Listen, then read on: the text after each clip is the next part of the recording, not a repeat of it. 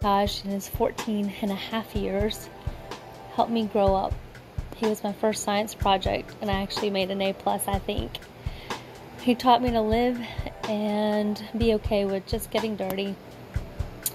Taught me to take naps and also play in the clouds, take lots of selfies before they were called selfies. He ran with me, ran around, even barked up the wrong tree a lot, sometimes more than necessary. Uh, potentially at squirrels that may or may not even exist, but that's okay. Bark up the wrong tree, it's not a big deal. Bark up the wrong bark, that's also okay. I love him, loved him, still love him, he's my angel. Miss him lots. I'm coming up on a very, very special time where I sleep on my back a lot. He was my rainbow, and I don't know how to fix that because he's not gone, but he did teach me to grieve gracefully.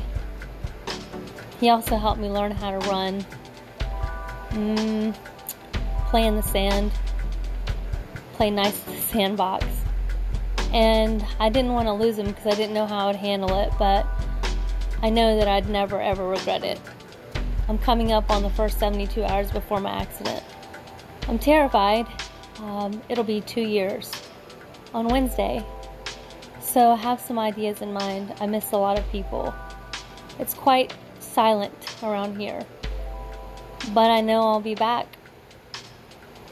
And I'll keep cycling through these moments that I had with him and what he taught me, which basically the point is use your legs, age gracefully, be okay with being patient, love really, really hard. It's okay. It's okay to rest.